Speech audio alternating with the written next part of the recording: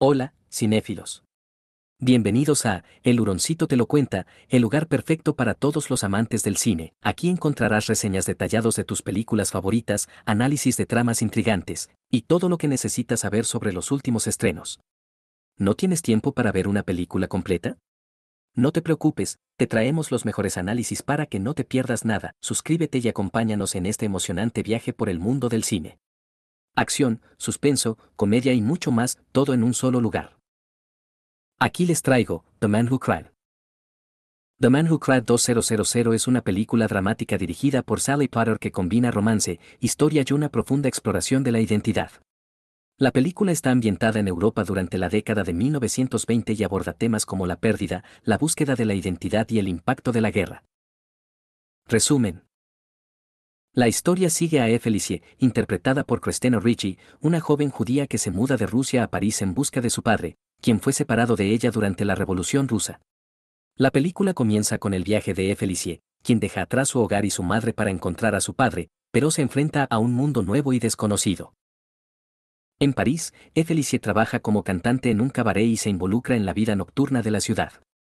Durante su estancia, se enamora de un bailarín gitano llamado César, interpretado por Olivier Martínez, quien representa un tipo de amor libre y pasional que contrasta con su búsqueda de conexión familiar.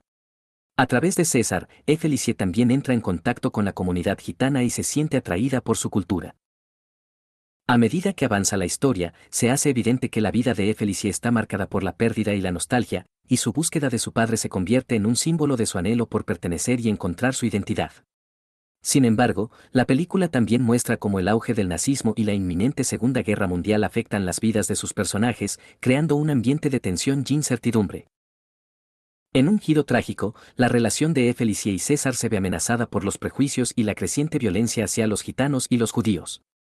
A medida que la guerra se aproxima, la historia de Felicie se convierte en una reflexión sobre el amor, la pérdida y la lucha por la identidad en un mundo cada vez más hostil. Temas Identidad y pertenencia. La búsqueda de Felicie por su padre simboliza su deseo de encontrar su lugar en un mundo que se siente ajeno y amenazante. Amor y sacrificio. La relación entre Felicie y César explora la complejidad del amor en tiempos difíciles, mostrando cómo las circunstancias pueden afectar las conexiones humanas.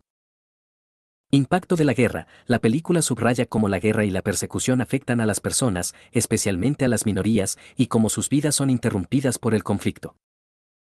The Man Who Cried es una película visualmente impactante, con una cinematografía hermosa y una banda sonora emotiva. A través de la historia de Felicie, Sally Potter ofrece una meditación sobre el amor, la pérdida y la identidad en un momento de gran cambio en la historia europea. Aquí tienes 10 curiosidades sobre la película The Man Who Cried 2000. 1. Dirección y guion de Sally Potter. La película fue escrita y dirigida por Sally Potter, una cineasta británica conocida por su enfoque artístico y su estilo distintivo.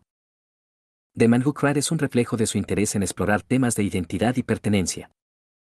2. Reparto internacional. La película cuenta con un elenco diverso que incluye a Christina Ricci, Olivia Martinez, John Turturro y Kate Blanchett. Esta variedad de actores ayuda a resaltar la multiculturalidad de la historia y su ambientación en Europa. 3. Locaciones. La película fue filmada en varias locaciones europeas, incluyendo París y Rusia, lo que añade autenticidad a la representación de la vida en esas épocas. La cinematografía captura la belleza y la atmósfera de las diferentes ciudades. 4. Inspiración histórica. La película se desarrolla en un periodo de gran agitación en Europa, incluyendo la Revolución rusa y el ascenso del nazismo. Esto permite que la historia de Felicie se entrelace con eventos históricos importantes. 5. Tema musical. La banda sonora de la película incluye música compuesta por Sally Potter y otras piezas que reflejan la diversidad cultural del contexto de la historia. La música juega un papel crucial en la creación de la atmósfera emocional de la película.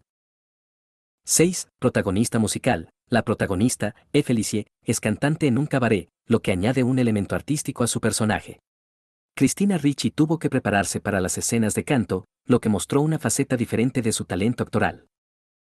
7. Énfasis en la cultura gitana. La relación de E. Felicie con César, un bailarín gitano, destaca la rica cultura gitana, su música y su danza. La película explora los desafíos que enfrentan los gitanos en la sociedad europea de la época. Edgar Casting cuidadoso, Sally Potter eligió cuidadosamente a su elenco, buscando actores que pudieran aportar profundidad y autenticidad a sus personajes. Esto se nota especialmente en la química entre los protagonistas. 9. Temática de la pérdida. La película trata profundamente sobre la pérdida y la nostalgia. Feliciano no solo busca a su padre, sino que también enfrenta la pérdida de su infancia y la incertidumbre de su futuro en un mundo cambiante. 10. Recepción crítica. The Man Who Cried tuvo una recepción mixta por parte de la crítica. Algunos elogiaron su estilo visual y las actuaciones, especialmente la de Kate Blanchett en su papel como una gitana, mientras que otros la consideraron un poco dispersa en su narrativa. The Man Who Cried es una película que combina una rica historia personal con un contexto histórico significativo, explorando temas de amor, identidad y pertenencia en un tiempo de crisis. Gracias por acompañarnos en esta emocionante exploración. Esperamos que hayas disfrutado del resumen y análisis y que te haya ayudado a conocer mejor esta increíble película.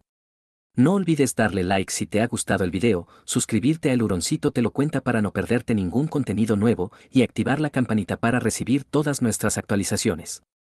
Si tienes alguna sugerencia o película que te gustaría que cubriéramos, déjanos tu comentario abajo. Nos vemos en el próximo video para seguir descubriendo juntos más sobre el fascinante mundo del cine. Hasta la próxima y que disfrutes de tus próximas películas.